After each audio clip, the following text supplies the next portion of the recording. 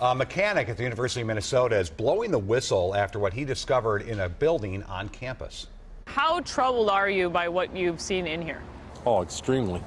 I mean, I'm, I fear for people's lives in this building. In the event of a power outage, Bruce Ballantyne points to exit signs and emergency lights with little or no battery power left. What's worse, a door he says would trap people trying to escape a fire. He found it all inside the Education Sciences building on a recent inspection. But when WCCO's Liz Collin asked the college about it, despite national standards, it seemed to downplay any risk. Nobody's life should be in danger coming to the University of Minnesota. A building mechanic at the U for 33 years, Bruce Ballantyne took WCCO behind the scenes to better understand the assignment that's left even a seasoned vet stunned. And right now, you think lives are in danger?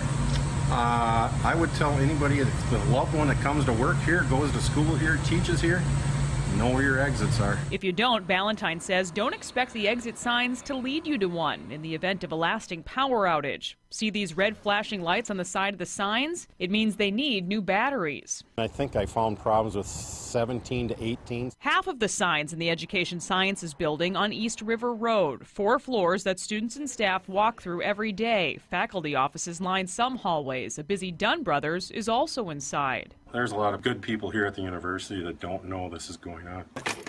Ballantyne holds the proof in his hand, what different lights mean from the sign itself. Tells you exactly what's wrong with them. Right there in red letters, red flashing, battery failure. That is a high bay emergency light. Ballantyne found more problems with what are called emergency lights in the building killed the power, and he says this is not what this should look like. All of them should be on. Every one of those should be on. Ballantyne recorded battery outages in 50 of these throughout the building, or about a quarter of all emergency lights. But it's this fire door that has him most frustrated. If the smoke alarm goes off, the door is going to close. The exit sign above it should signal you'd be able to get out this way. Not here. It locks.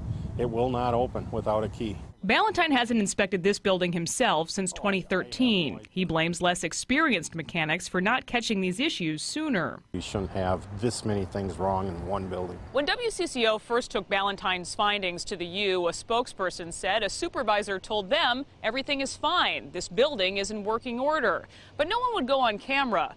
A spokesperson then said that fire door is now unlocked, calling the original setup a mistake.